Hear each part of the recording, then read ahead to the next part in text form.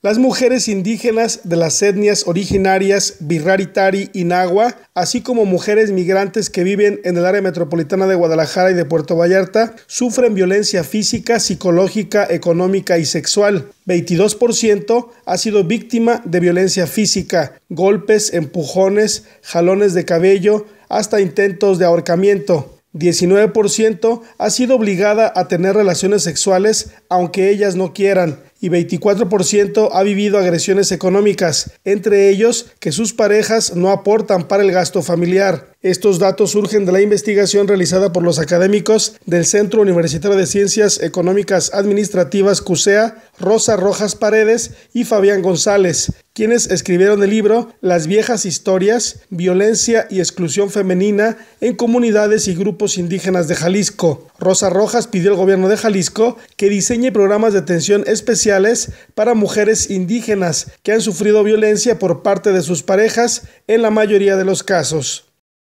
el gobernador anuncia que va a establecerse un modelo único de atención a la violencia de género. Perfecto, qué bueno.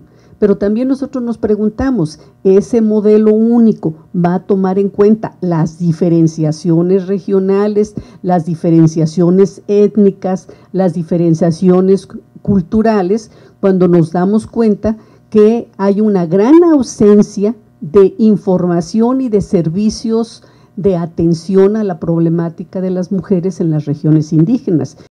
Fabián González dijo que se tienen que establecer acciones acordes a las realidades de las sierras de las regiones norte y costa sur para que sean efectivas y ayuden a las mujeres agredidas. El Instituto Nacional de las Mujeres y los institutos eh, estatales de las mujeres ponen a disposición de todas, criollas, mestizas, eh, eh, indígenas, la línea de tensión en contra de la violencia.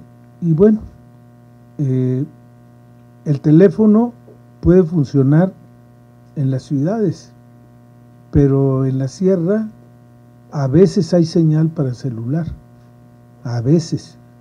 Y cuando hay, pues las señoras no pueden estar gritando los problemas que tienen, ¿no? En Jalisco viven 80.000 indígenas, incluyendo quienes han migrado y hoy viven en Guadalajara y Puerto Vallarta. Rosa Rojas explicó que los casos que encontraron son desgarradores y estrujantes, por lo que apelan a los gobiernos a intervenir para frenar esa condición de violencia en que viven algunas mujeres nativas o afincadas en Jalisco. Con imágenes de Eduardo Fierro, señal informativa Ignacio Pérez Vega.